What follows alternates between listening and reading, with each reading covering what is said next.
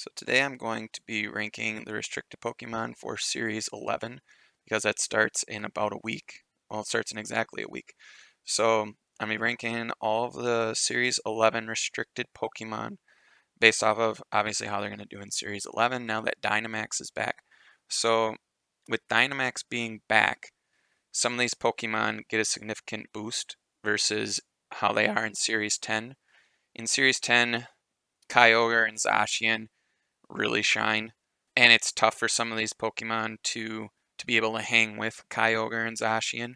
But with the Dynamax being back, with all these Pokemon being able to Dynamax other than Zacian and Zamazenta, that makes some of these Pokemon much better and a lot more usable. So let's take a look at the list here. I'm just going to go in order so you can see they're listed in order of their generation.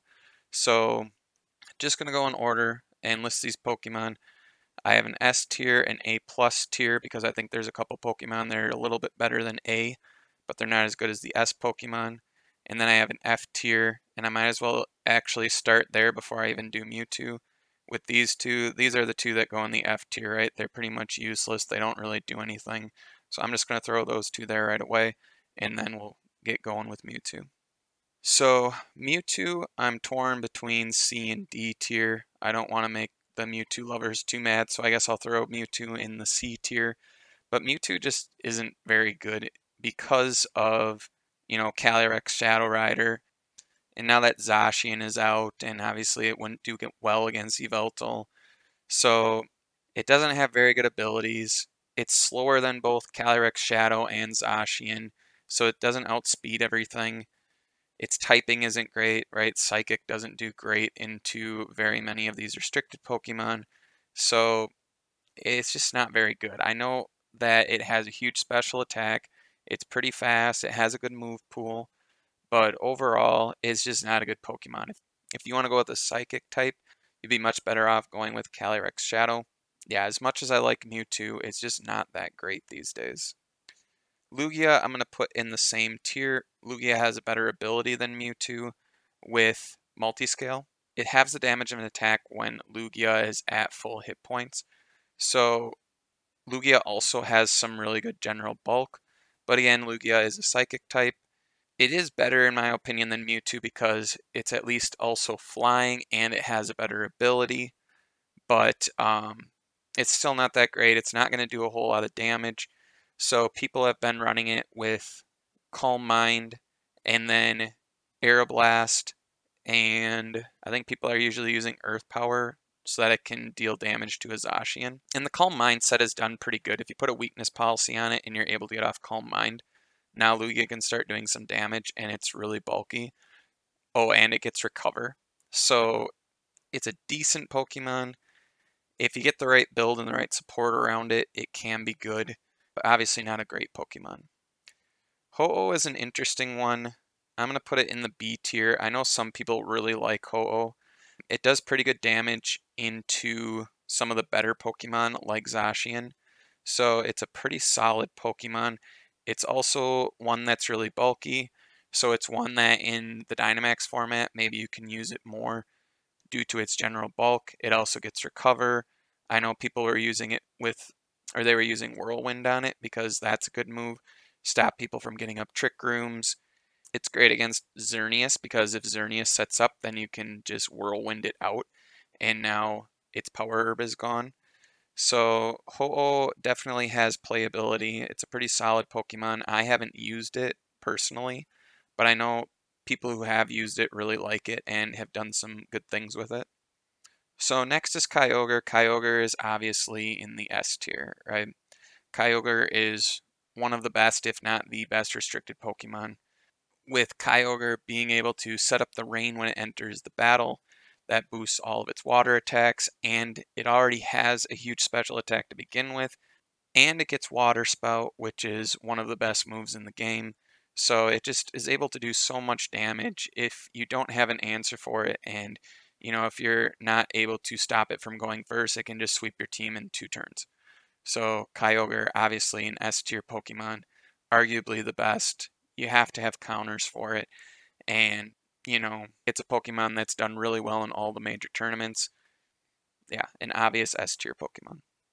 I'm going to put Groudon in the A plus tier. I think this is a really good Pokemon, but it's not as good as Kyogre. But you're going to see this a lot, especially now that Dynamax is back. You're going to see all kinds of Groudon Sun teams with Charizard, Venusaur.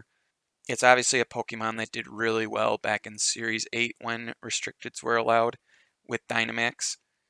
So popular set is Swords Dance, and then people Dynamax it. People will also run it under Trick Room, so they'll make a bulkier Groudon, still running the Swords Dance, set up Trick Room, and then they'll have good support Pokemon like Umbreon does super well with Groudon because its Moonlight heals even more when the sun is up, and Umbreon is just a great support support Pokemon to begin with.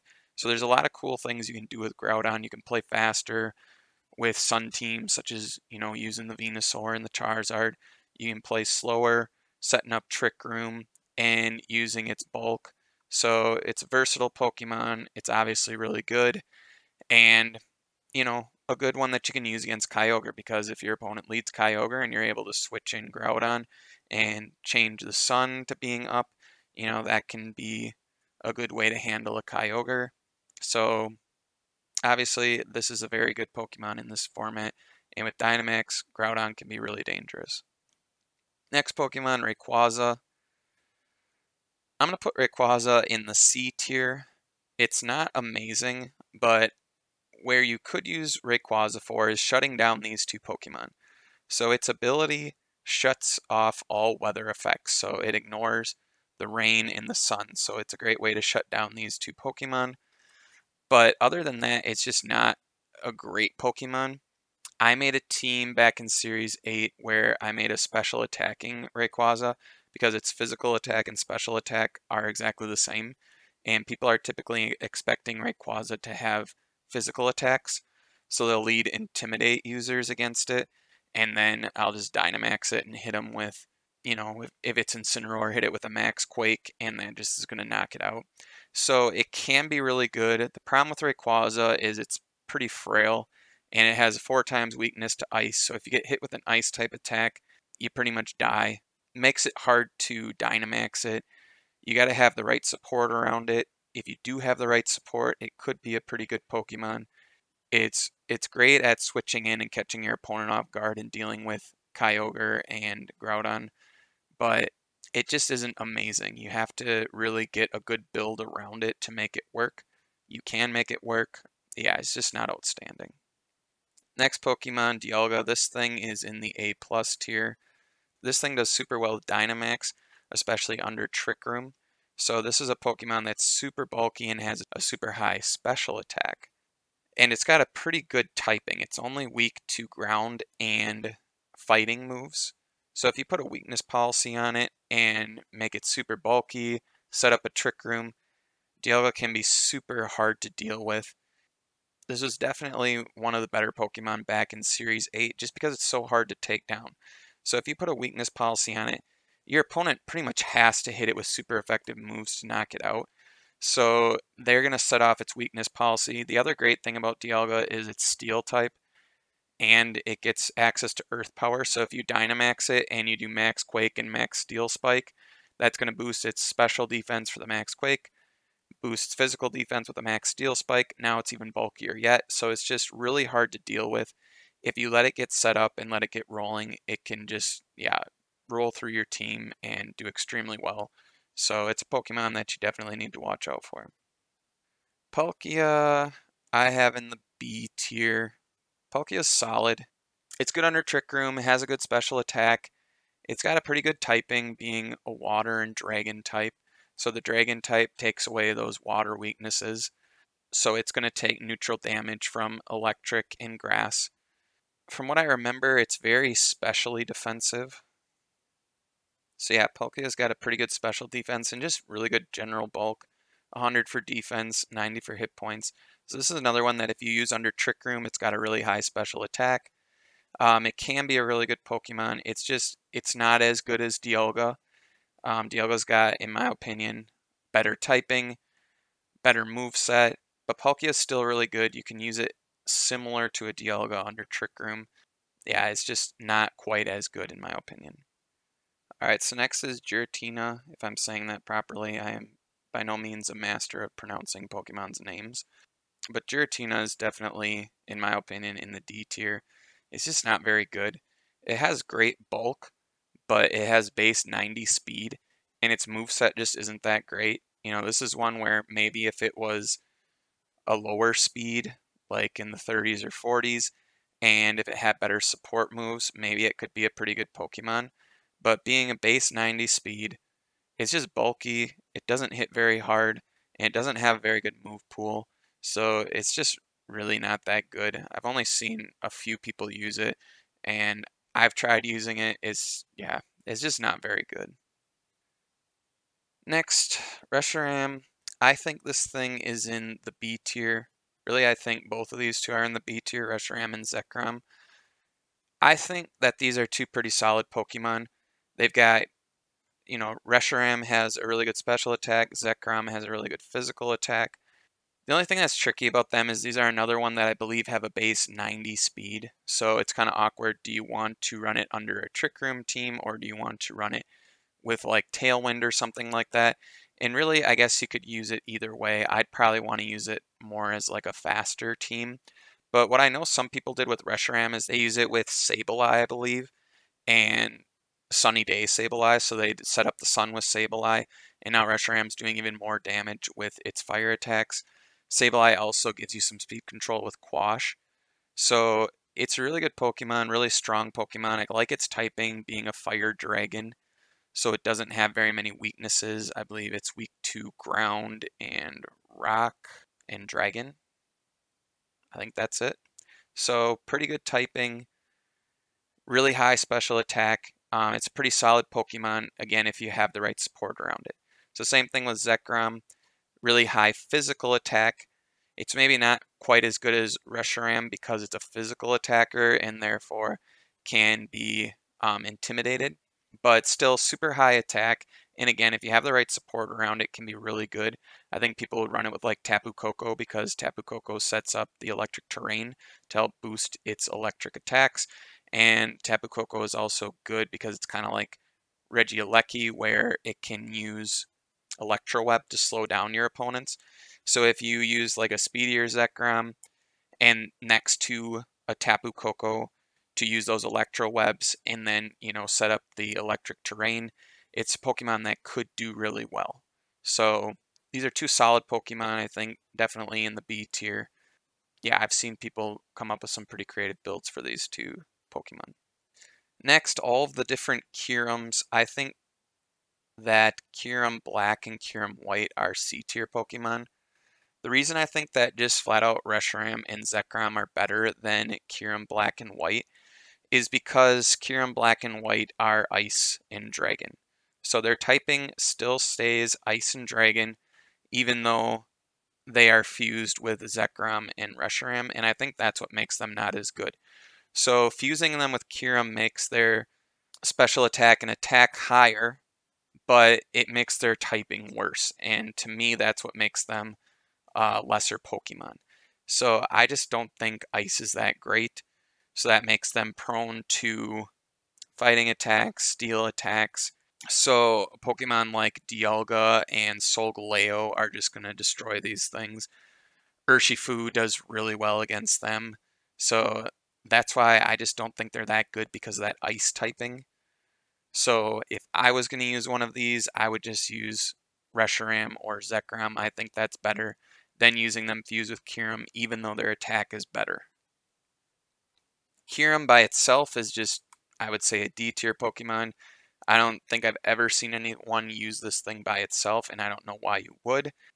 Its typing is the same as these two. Its ability is worse because, you know, Kyurem White and Kyurem Black have the same abilities as Reshiram and Zekrom. So their abilities are better. They're um, going to have a better attack. Yeah, they're just, there's no reason that you would just use Kyurem not fused. Next is Xerneas. I'm going to put Xerneas in the A tier. So Xerneas is really good if you can get off Geomancy. The problem is there are just a lot of good counters to Geomancy. We talked about Ho-Oh using Whirlwind, In Series 10, Whirlwind and Roar really picked up a lot for dealing with Xerneas. With Series 11 coming back, there's a lot of really good steel types when Dynamax is available. So you're going to start seeing Metagross again. You'll start seeing Kartana again. Those are two Pokemon that benefit a lot from um, Dynamax. So there's going to be even more steel types being brought back into the format. So that brings um, Xerneas down a little bit. Xerneas still is really good. If you're able to get off Geomancy, this thing is really hard to stop. It's just getting it set up and getting Geomancy off that is the tough part. But if you're able to get it going, obviously it's a super good Pokemon that's really hard to stop. I'm going to put Yveltal in the A plus tier.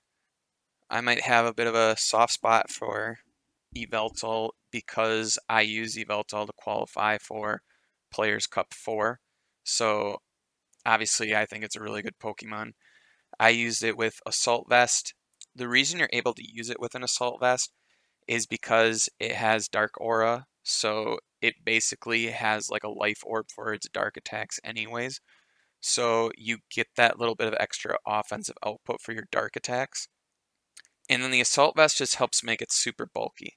And it's a Pokemon that you can easily use as your Dynamax Pokemon or as like a support Pokemon. So you put, with the Assault Vest, you put um, Oblivion Wing and Dark Pulse, and then you have Snarl and Sucker Punch. So Sucker Punch, you know, can one-shot a Calyrex Shadow. Also, Sucker Punch is just really good to have in endgame scenarios where you're not going to go first, so maybe you can get off a Sucker Punch and win the game. So obviously, it's always really good to have priority moves. Like I said, the Assault Vest helps make it super bulky. Also, with Oblivion Wing, it's able to heal back hit points. So it's just a really good Pokemon. It has a lot of good things going for it. And yeah, I think Yveltal is really good. Alright, next is Zygarde. The 10% form I think is useless. I might be wrong about this, but I think that thing, yeah, is useless. Takes four times damage from ice, and it just, this 10% form, it's faster, but it has like no bulk to it at all. Yeah, I just, I don't see any reason that you would use this thing. So I would always use the base one over this 10% one every single time. I just don't know what this thing does. It's just faster, but it's super frail. But the normal form of Zygarde, the base form, I would put as a C tier Pokemon. You could argue for B now that Dynamax is available. It's just tough to get set up. If you get it set up, it can be really good. It's just hard to get it there. And also having that um, four times weakness to ice, just like Rayquaza, makes it tough. So they're under the same boat having that four times weakness to ice. But it has a super good ability with Power Construct that makes it way bulkier as long as it can survive hits until it gets to under 50%. It does really good, obviously, with Comfey. So with a weakness policy next to Comfey, you can get this thing set up. Also, if you could use like a follow me user, like an Indeedee next to it, so that it can get off some coils and help get it bulkier and stronger. Coils obviously a great move to use. So it definitely has use. Under the Dynamax format, being able to Dynamax and use max Quakes to boost special defense, that makes it even better. So if you let that thing get set up, it can be pretty much impossible to take out. It's just a matter of getting it set up that's difficult. But yeah, if you are able to get it set up, it can be a nightmare to deal with. So next is Solgaleo. I have Solgaleo as an A plus Pokemon. The reason I have Solgaleo up there is because it's got a great ability and a pretty good typing. So it's basically like a better Metagross, right? It's a Psychic Steel type. It gets like the same moves as Metagross, and it has essentially the same ability as Metagross. So you know how good Metagross can be under Dynamax. Solgaleo is even better. So its ability is Full Metal Body, which is the same thing as Clear Body. You can't lower its stats, so it can't be intimidated. So that makes it obviously a super valuable Pokemon. The only way that you can reduce its attack is by burning it. So if you run like a Tapu Fini next to it to set up a Misty Terrain so that it can't be burned, now this Pokemon is just so good. And it's another one that you could use as a Trick Room Pokemon, or you could use a faster version. Yeah, it's a base 97 speed, so you could use it as a faster Pokemon under like a Tailwind. A lot of time people are going to run Trick Room with it, you know, to deal with some of the faster Pokemon like Zacian and Calyrex Shadow. But this is just a super good Pokemon. Great ability, great typing. It gets a great move pool. Another one that you would use with a weakness policy. There's a lot of different ways to set off its weakness policy. You could use it with a Mimikyu to set up Trick Room and then Shadow Sneak. You could use it with Grimmsnarl to Sucker Punch it. A lot of ways to activate its weakness policy, and there's a lot of good partners for it. So it's just a really good Pokemon. Definitely belongs in the A plus tier. Lunala, on the other hand, is not very good I don't know where to put this thing. I want to put Lunala in the D tier. Yeah, I mean, my gut's telling me D tier on this thing. I know some people have found ways to use this thing, but I don't know. It's just not good. And it takes four times damage from Dark and Ghost types, just like Calyrex Shadow, except it's slower than Calyrex Shadow. Its special attack isn't as good as Calyrex Shadow. I don't know. I just don't think it's very good. So the same thing for the Necrozma Dusk Wings. Maybe I'd put this thing in the C tier since it is a little bit bulkier and it hits a little bit harder. I feel like if I was going to use this, I'd rather have the Dusk Wings than just the Lunala. This is also slower, so it's a base 77 speed versus a base 97 speed, so it's better under Trick Room.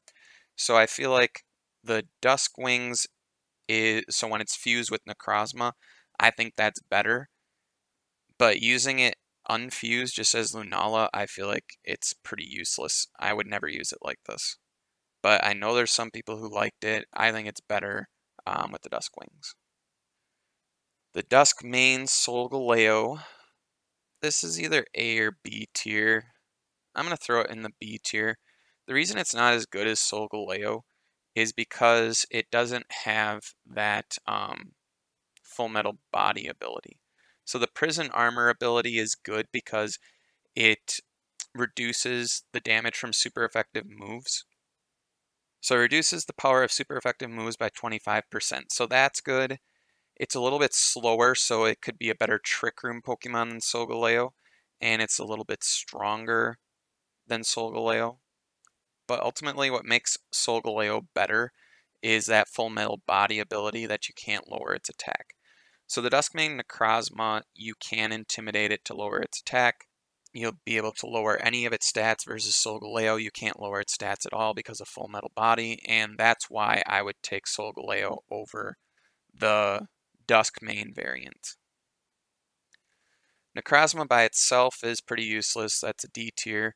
If you're going to use it, you would fuse it with Solgaleo or Lunala. So I don't see why you would ever use this thing by itself. All right, and we're finally to the Gen 8 Pokemon. So the first one, Zacian, is obviously the other S tier Pokemon. These two are the best restricteds by far. Zacian just does so much damage. Its ability is just ridiculous. Probably the most broken ability that there is. Being able to raise its attack by one stage when it enters the battle, when it already has a super high attack and it's already super fast and then Behemoth Blade is just such a good move. It ignores that your the opponent is Dynamaxed, right? It does the same amount of damage to the Pokemon, whether it's Dynamaxed or not Dynamaxed. So it's a really good Pokemon. Obviously one of the best. It's something that you have to have counters for. Yeah, Zacian and Kyogre are clearly the two best Pokemon in the format. So just a normal Zacian without the rusted sword. I don't know why you would ever use this, so I don't know where to even rank this thing. It's still got the same ability, except it would just be Fairy instead of Fairy and Steel, so it's not going to be as good. It's also slower, so I don't know, maybe it would be like an A tier Pokemon. It's tough to tell. Maybe I'll just throw it in the B tier. I don't know why you would ever use this because it's not going to be as good without the sword. but I don't know. I'd be curious to see if someone tries this and how it works for them. For now, I'm just going to throw it in the B tier, so it's significantly worse than when it has the sword. But then you'd be able to give it something like, I don't know, a choice band or a life orb or something like that. I don't know. Maybe that could be good. I'll leave it here in the B tier. Zamazenta, I'm going to put in the C tier. It's just not great. It's obviously super bulky, and the main way that people use it is Howl. They'll use it alongside a good physical attacker and use Howl, and we've seen that be successful. It's a solid strategy, it's just nothing great. The other thing it gets is it gets coaching. People usually use Howl over coaching because that's going to boost Zamazenta's attack as well as its um, as its allies attack. But I don't know. It's just a decent support Pokemon, but it's not great. So Zamazenta without the shield, I'm going to also put in the C tier. I messed around with this a little bit in Series 10. So it would just be a fighting type. It would still get that defense boost on entry because it still has the same ability. And what I did with this thing in Series 10 was I gave it Choice Band, and that made it kind of interesting. Except basically what it did is it made it a little bit lesser version of Urshifu. With Choice Band, it dealt out a lot of damage, it's just Urshifu is better.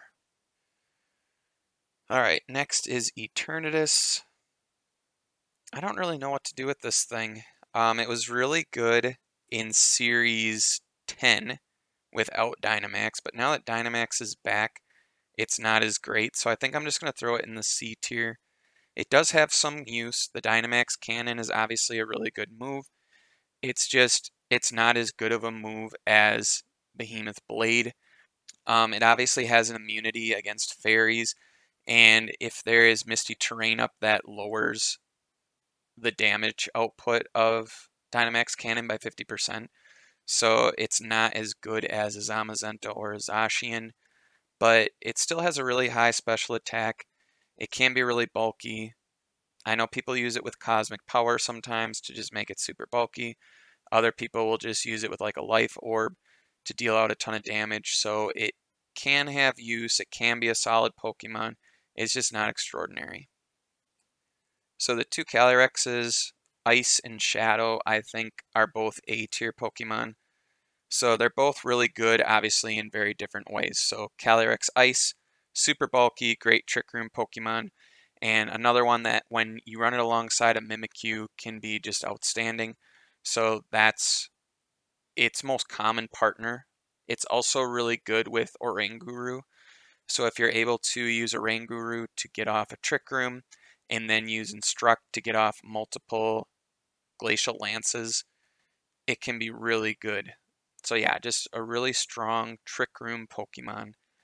But its downside is that it's a Trick Room Pokemon, right? So it's incredibly slow. So if your opponent has a way to deny your Trick Room or to stall out your Trick Room, now it's not as great. It's obviously going to be not very good against a Dark Urshifu. Yeah, it definitely has its weaknesses. It can be intimidated to lower its attack. It's going to be really weak to, you know, steel, fire, dark. So it's got some good counters to it. But just its natural bulk, if, especially if you Dynamax this thing and you put a weakness policy on it, you're just able to do so much damage and survive so many different attacks. Yeah, it, it's a really good Pokemon. The reason it's not higher as an A plus or an S is because of how many different counters there are to it. And the same thing is true for Calyrex Shadow. The reason it's not higher is because there's so many counters to it and because of how frail it is. So it's super fast, super high special attack, but it is incredibly frail. It takes four times damage from dark and ghost attacks. So, you know, it doesn't want to face up against a dark Urshifu, a Grimmsnarl, or Incineroar. You know, it doesn't do well against any of those Pokemon, and those are all really common Pokemon. But if you're able to get rid of its counters, it's incredibly powerful, and once you get it rolling, it can just be so good. So both of these Pokemon, if you're able to get them set up and get rolling, they can be unstoppable. It's just a matter of getting them started. So lastly, just Calyrex by itself. Again, this is a D tier Pokemon because there's no reason to use this without Glastrier or Spectrier. So if you're going to be using Calyrex, you're going to fuse it with one of these two Pokemon. You're not going to use it by itself.